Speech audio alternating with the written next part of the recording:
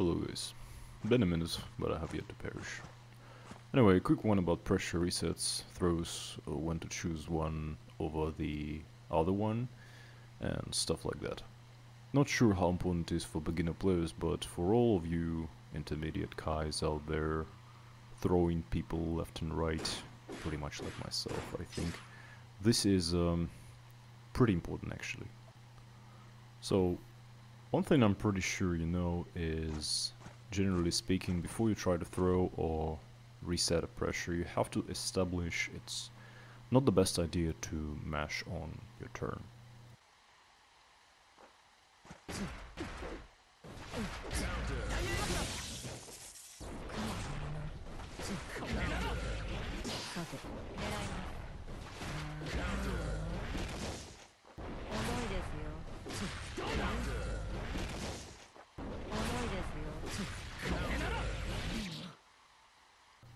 From there we can reset the pressure or just go for the grab.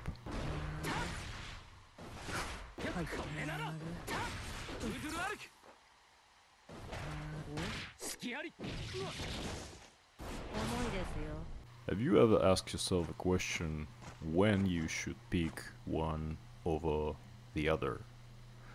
Uh, I think I did once or twice or maybe a dozen of times, but tell you the truth, I feel like it never really mattered to me that much, so I was pretty random with that stuff myself. But I don't really want to be anymore, so let's take a look into this. We've already established conditioning is the same. Now the second thing that is quite similar about resets and throws is how easy it is to get out of them.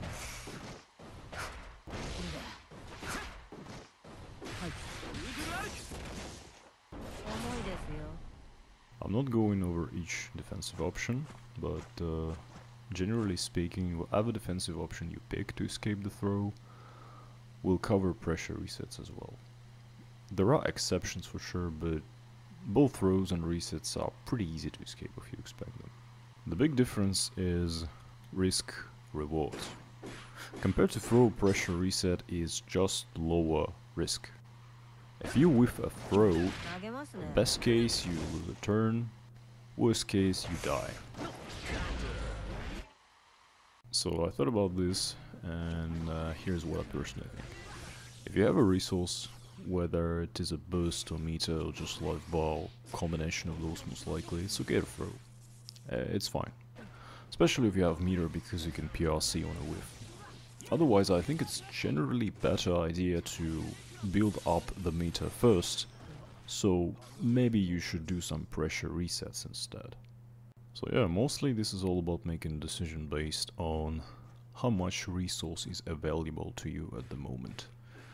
This, I feel, is just super important to become a more consistent player. So yeah, I think this is all for the video. Thanks for tuning in. If I'm still alive, I'll catch you up later. Take care.